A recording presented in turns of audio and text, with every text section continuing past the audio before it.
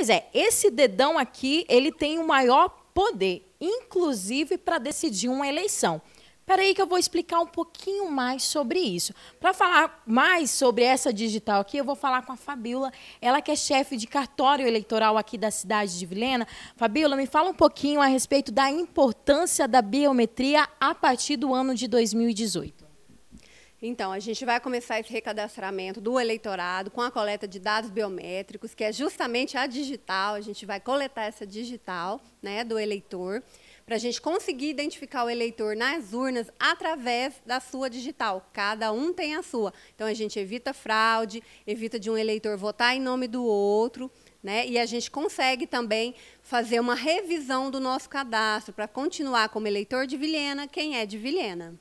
Bom, gente, isso que a Fabíola está falando é obrigatório. Então, a partir do ano de 2018, quando você for às urnas, você já terá então que colocar a sua digital lá para comprovar que é você que está votando. Correto, Fabíola? Isso. O comparecimento do eleitor de Vilhena é obrigatório na revisão. Tá? A gente vai estar tá fazendo essa coleta de, dado, de, dados biométricos de julho até outubro, na Biblioteca Municipal, no centro da cidade de Vilhena.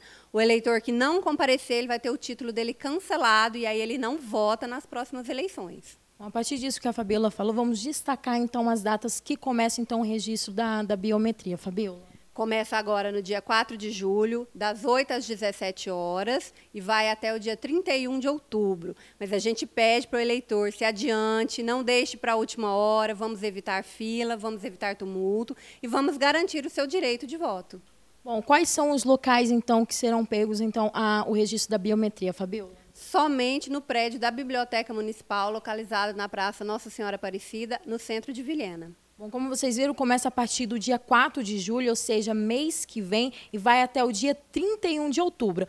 A data parece ser longa, mas tem muita gente que deixa para cima da hora. Como você viu a Fabiola falando, não deixe para o último dia, ou seja, para o dia 31.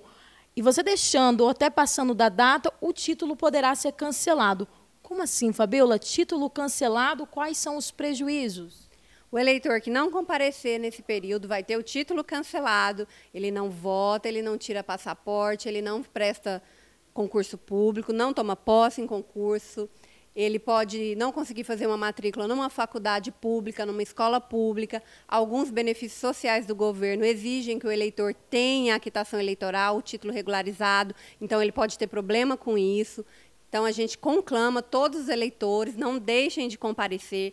É importante, é obrigatório. A gente espera vocês a partir do dia 4 de julho. Acho que o principal de todos é deixar de votar, né? Caso o título seja cancelado. Ela falou todos esses malefícios, mas é claro que o principal de todos é você não poder decidir uma eleição. O poder de uma pessoa pode decidir muito a eleição. Fabiola, nós tivemos então a primeira cidade aqui, daqui do estado de Rondônia, que foi a cidade de Colorado, que começou então esse teste a respeito da biometria.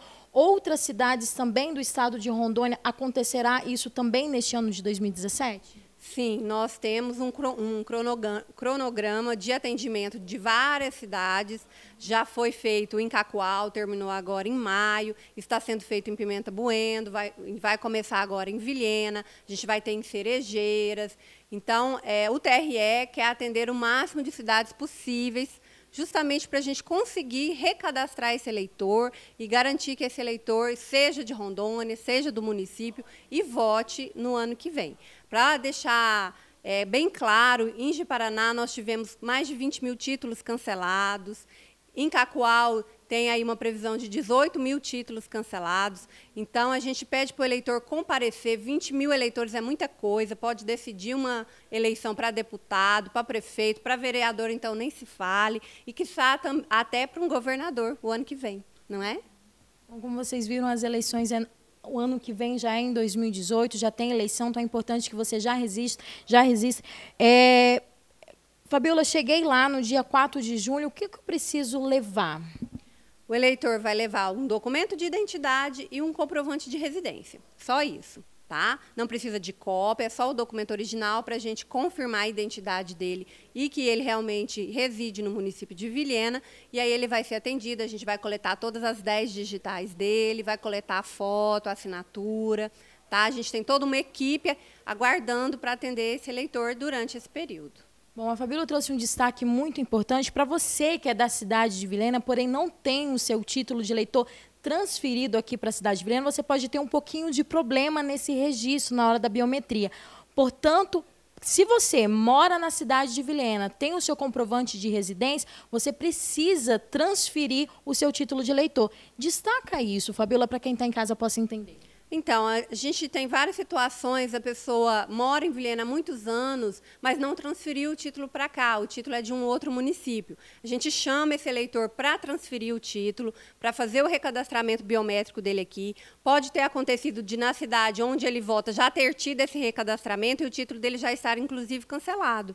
E ele não está sabendo. Vai saber a hora de precisar de um documento e aí não vai conseguir tirar por este motivo.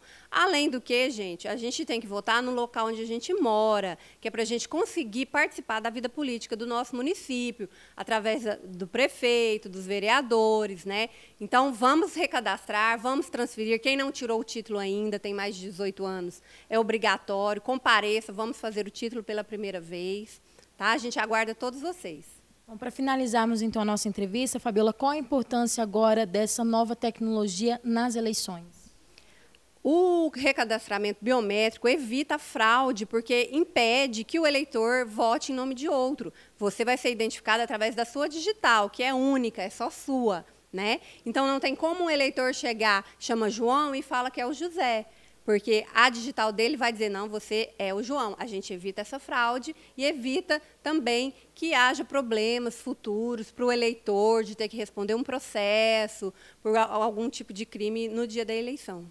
Eu estive então aqui com a Fabíola, ela que é chefe do cartório eleitoral aqui da cidade de Vilena, falando a respeito da biometria, que é a identificação então do eleitor pela digital, que acontece então a partir desse dia 4 de julho e vai até o dia 31 de outubro. Para você que não fizer então esse registro da biometria, você poderá ter seu título cancelado como a Fabiola mesmo acabou de falar, ocasionando então diversos problemas, principalmente para quem espera então prestar um concurso público, entre outros. E é claro, principal de todos, você não poder votar. Então, eu sou Mara Carvalho para o Bronca Livre.